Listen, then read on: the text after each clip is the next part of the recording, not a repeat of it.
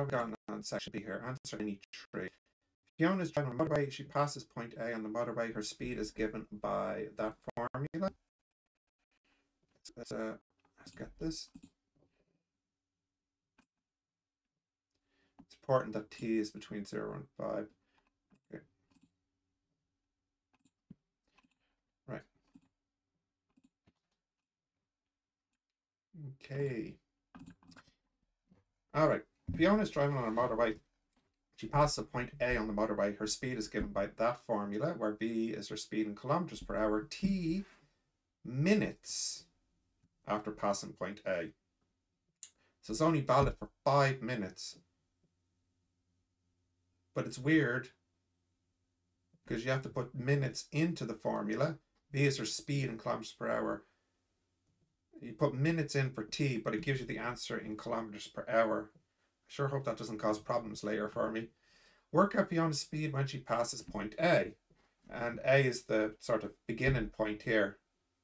So in other words, it's just uh, A here is just asking us to calculate uh, V0. So V0 would just be 109 kilometers per hour. B. Work out Fiona's acceleration. That is the rate at which her speed is increasing. Five minutes after she passes point A. So the acceleration function is just the derivative of the speed function. dv dt at t. So bring down the power, reduce the power by 1, bring down the power, reduce the power by 1. And we want the acceleration at 5 minute mark. Okay, so I'll just sub in in 5 now. 2 times 5 squared minus 12 times 5 plus 13. And that would be 3 kilometers per hour squared is the unit. C. Find the time at which Fiona reaches her maximum speed during the first four minutes after she passes point A. Now, two years ago, roughly, there was a question like this with heartbeats that caught me out. I'm not going to be tricked again. Oh no. So before uh, I do anything with derivatives, to find her maximum speed during the first four minutes, I am going to calculate her speed at zero, which we know, and at four, which I don't know. Not going to be tricked again. Mm -mm.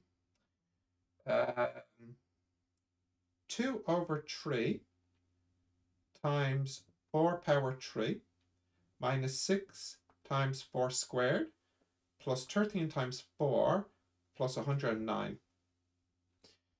So that is 107.6 reoccurring. Now I'll calculate her maximum speed by using a differentiation. So the derivative has to equal 0, which means 8t has to equal 0, which means 2t squared minus 12t plus 13 has to equal 0. Can we factorize that, I wonder, or do we need to use the minus b formula? I think we have to use the minus b formula. So t would be minus b plus or minus the square root of b squared minus 4ac all over 2a minus b plus or minus square root of b squared minus 4ac all over 2a. So we get two t's. The first one, the positive one is for roughly 4.58, so no. We don't want that. And the second one is about 1.418. That's the that's the negative one. So t equals 12. Uh, well, if I simplify on my calculator, that fraction, it's 6 minus root 10 over 2. I'm going to sub that in to the velocity now to see what I get. And if it is bigger than either of these, we'll go with that answer. Otherwise, we'll go with one of these two at the boundary.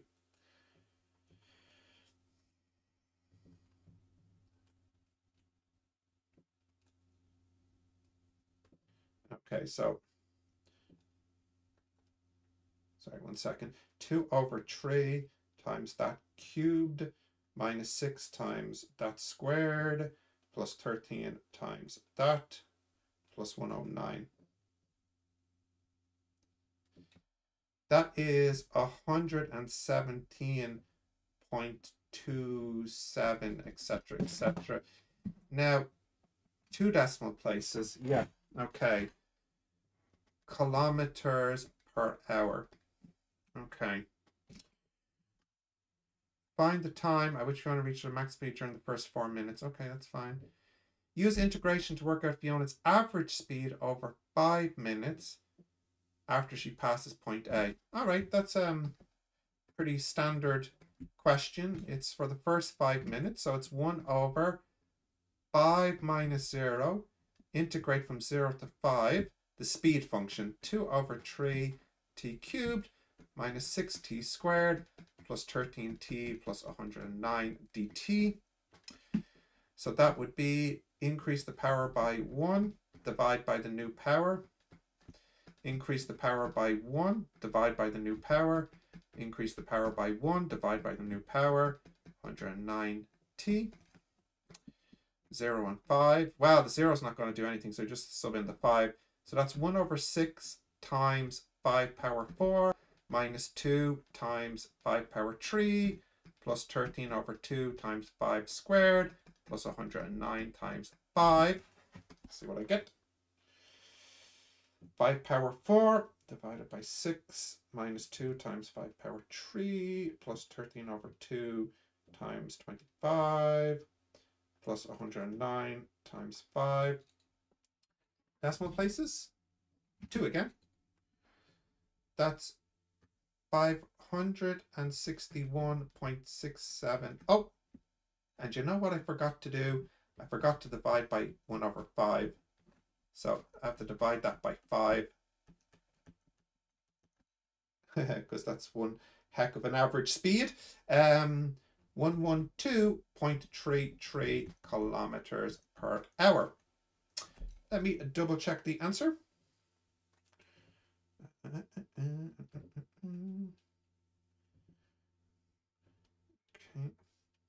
Better safe than sorry.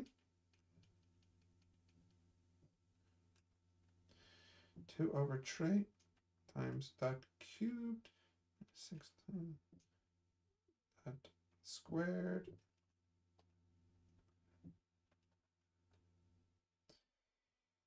Um, yeah, that looks right. That looks right.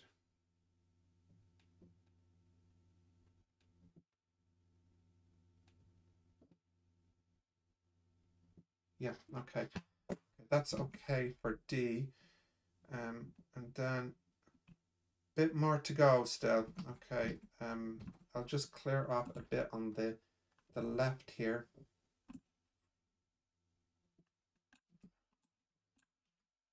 Okay, just switch to a different color. We'll, we'll continue in the blue here. Okay. Now, where are we? E. Uh, taking v dash to be the derivative of v and v double dash to be the second derivative, uh, four graphs A, B, C, D are shown close to where t is 1. The graph of vt must look like one of the four graphs above. Write down which graph it is, justify your answer. Okay. And I guess using this fact here. So if v dash 1 is positive, that means it's it's going upwards. And if v double dash 1 is negative, that means it's concave. So I'm looking for something upwards and concave. So that's only graph B, therefore graph B.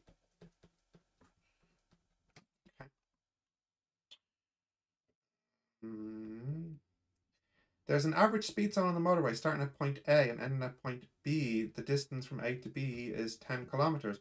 Cameras record the time taken for each car to travel from A to B. Each car average speed from A to B is calculated. Work out the minimum time in minutes that a driver could spend getting from A to B while not driving above 100 kilometers per hour. So, what's the quickest they could do it without breaking the speed limit? I it's just a simple uh, distance, speed, time. So, time is distance, um, which is 10 over speed. So that's 0 0.1 of an hour, tenth of an hour, which is six minutes. You can't be doing this more than faster than six minutes because then you'll be going over the speed limit, right? What is the minimum time in minutes a driver could get from A to B in the 100 kilometer per hour zone? Uh, yeah, I think I think that's it. Yeah. Okay. Rowan drives from A to B. He passes point A, driving at a constant speed of 120. After two minutes driving at this speed, he starts to decelerate at a constant rate until he reaches point B. Overall, his average speed is 100. Work out his deceleration. That's a very, very applied maths question, if I do say so myself. That's a very, very applied maths question. And um, I think that's kind of mean, to be honest. But I guess it's the last question, so. Okay, let's try and sketch this out. Um, um, he drives two minutes at 120. So let's just take that out of the equation and figure out how far he, he got in that time. So his distance is um, distance, sp speed multiplied by time. So that's 120 times 2 over 60. So, well, 120 divided by 60 is obviously 2. So that's 4 kilometers. So that means he has 6 kilometers left. But he needs to travel this 6 kilometers in um, 8 minutes. No, sorry, we have 6 and he's used 2, isn't it? So in 4 minutes. In 4 minutes. So the acceleration or the deceleration, so I shouldn't put the minus in because they already have the word, the deceleration It's the rate in change in speed over time. So we know the time, 4 over 60 of an hour. Um, but what's the speed? So, you know, I might have to graph this. I might have to graph this so I don't make a mess of it. So if we draw the time velocity graph, okay, this is what's happened in the story. He's traveled at a constant 120 for two minutes, and then he has to get to the end which is in six minutes, so that's four minutes later. And he has to decelerate. And we want the slope of this line. And we know that this distance here, which is the area under the graph or the time velocity graph, that's four. Yeah, so th this really is an applied maths question. So I'll make this a little bit larger here. Oops.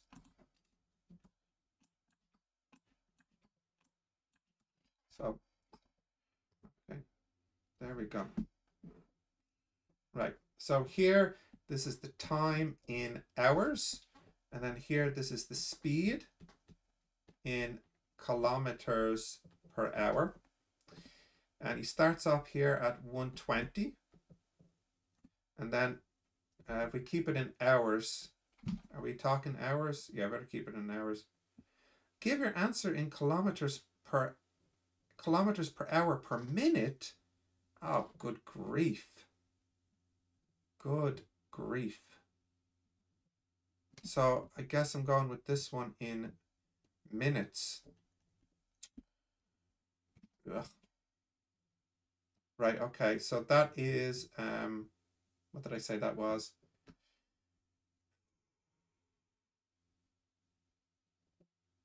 uh, chose 2 and this is 6 and we drop down here okay.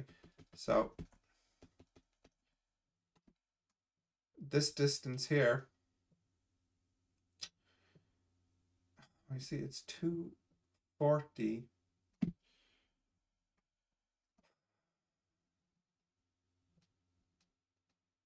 conversion with the units is going to be a big problem here for me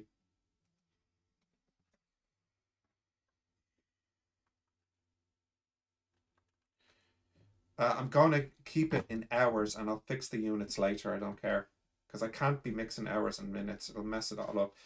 So that would be 2 over 60 and 6 over 60 of an hour. Okay. So this area here represents the distance traveled, which is um, 4 kilometers. Um, and so this here would have to be 6 kilometers. Uh, we know the base. We know this height here. So we can do it as a bit of a, a maths problem here. Uh, we'll call the height here x. This x here. So x times 60 over 6 over 60 minus 2 over 60. That's this area here. Plus the triangle, which is a half the base, 6 over 60 minus 2 over 60, times the height, which is 120 minus x. That should equal 6. Solve this for x. Okay. 6 over 60 minus 2 over 60. Uh, of course, is 4 over 60, which is 1 over 15. So that's 1 over 15x plus 1 over 30x. Uh, not x, sorry. 1 over 30 times 120 minus x, that's equal to 6.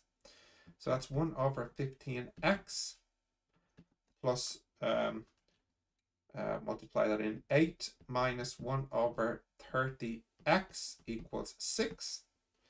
So 6 minus 8 divided by 1 over 15 minus 1 over 30 Rats, I got a negative answer. Uh oh Yeah, because I have the signs backwards. It's plus 1 over 30 and minus 1 over 15. So, so x is 60 then. So he had to slow down to 60. So his speed is going from 120 up here down to 60 in, now we said this one here was two minutes, and this remaining piece here is um, four minutes. So it's 120 to 60 in four minutes. So the answer is, the deceleration is 60 divided by 4 then. So it's 15 kilometers per hour per minute. Every minute, he has to reduce his speed by 15 kilometers an hour so that he can go from 120 down to 60. And that hopefully will get him doing the 10 kilometer journey in six minutes, which should not alert the speed camera. What a hard question, and I'm not even confident I got it right. Is that the end of it? Yes.